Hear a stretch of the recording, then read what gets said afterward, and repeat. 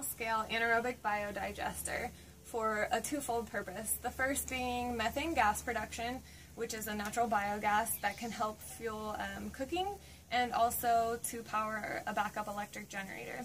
The second benefit is um, that it produces an effluent which will be great fertilizer for an organic garden. It's very nitrogen rich and nutritious. So the way that this works is quite simple. We've started off with um, a manure and water base, which will get the correct bacteria going. After about four weeks time, we will start adding once a week our kitchen waste, so scraps of vegetables and fruits just straight into the biodigester and then seal it off again.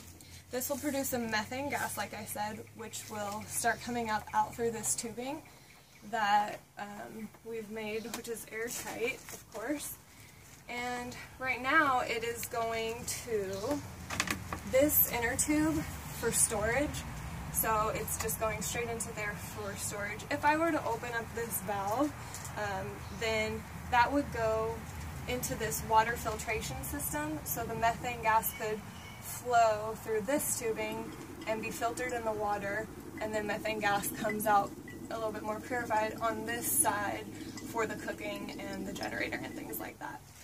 The second benefit I talked about, which was the effluent, that will come out of this pipe once you've opened this and you can use that for your organic gardening. This is just an overflow safety precaution. So that's about the size of it. Thanks for watching.